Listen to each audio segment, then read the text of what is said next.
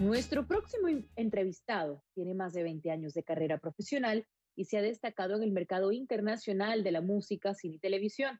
Hablamos nada más y nada menos que del actor Osvaldo Ríos, conocido por sus papeles en reconocidas novelas y también por la película Elsa and Fred, donde fue productor ejecutivo y también actuó, pero además desarrolla una labor filantrópica ayudando a los más necesitados. Pero hoy, entre varias cosas, nos va a hablar de su historia, de su anécdota y haber conocido de cerca una de las leyendas más importantes de Hollywood que lamentablemente nos dejó en este 2021. Estamos hablando del actor Christopher Plummer. Osvaldo, muy buenos días y muchas gracias por acompañarnos hoy en el programa. Muy buenos días, Alejandra, y un saludo muy grande a todos los televidentes de CNN en español, en especial a todos mis hermanos hispanos acá en los Estados Unidos y, en toda América Latina. Estaba leyendo tu tributo al actor en tus redes sociales, específicamente en Instagram, y amé tu comentario que decía, mientras más grandes, más humildes. Cuéntanos por qué decidiste escribir esto. Sí, eh, yo tuve una, como todos saben, yo fui el productor ejecutivo de, las, de, de la película El San Fred con el señor Christopher Plummer y la primerísima actriz Shirley MacLaine. Y fue mi ópera prima como productor, ya llevamos varias, hicimos otra con Charlize Theron, Dark Places, las pueden ver todas en Netflix y en todas las plataformas.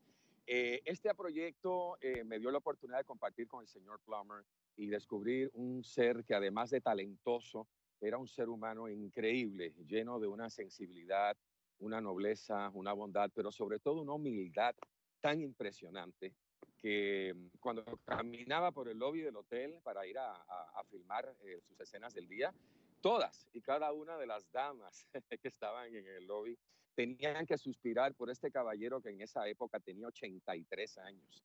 Era todo un lord, todo un caballero, y, me dio una de las eh, eh, enseñanzas más grandes de, de, esta vida que un ser humano puede tener, que es que mientras más alto llegues, más humilde eres. La palabra humildad la llevaba con H mayúscula y un ser humano increíble, de verdad. Me llevé de él las mejores lecciones y los mejores recuerdos. Y además que la caballerosidad nunca caduca, Osvaldo siempre será deseada y siempre será admirada. Así que es un gran ejemplo con lo que nos acabas de contar. A ver, más allá de las luces, también tuviste la oportunidad de conocer su metodología de trabajo, su ética de trabajo. Y siempre se dice, esto va más allá de la suerte. Cuando uno conoce a leyendas, como por ejemplo Christopher Plummer, en el trabajo te das cuenta por qué llegaron a ser quienes fueron o son. ¿Cuál es, el caso de él? Cuéntanos de su metodología de trabajo. Mira, el señor Plummer siempre era el primero en llegar y el último en irse. Es un actor, eh, era un actor de método, como todos saben, eh, muy exigente consigo mismo. Y siempre digo esta anécdota porque es así. La película Elsa Fred fue basada en una película española argentina de ese gran director Marcos Carnevale, con quien próximamente estaré filmando eh, en Puerto Rico. y cuando decidimos hacerla, en la película original, el personaje de, Fred es muy pequeñito y el señor Plummer, con su talento, con su arrojo y con su presencia única escénica, logró que el personaje de Fred fuera tan increíble, tan imponente, que la película muy bien pudo haberse llamado Fred and Elsa, del gran trabajo que hizo. Era un actor muy orgánico, eh, que se metía en los personajes y de verdad que hay que aprender de él, hay que aprender de los grandes, sobre todo la lección de la humildad. Y bueno, tuviste unas lecciones muy importantes trabajando con él, trabajando para él en esta película. Tu carrera es una carrera también digna de admirar para los actores latinoamericanos. Tienes décadas de trabajo, décadas de, de, programas, de novelas, de películas que siempre dejarán un legado en la televisión.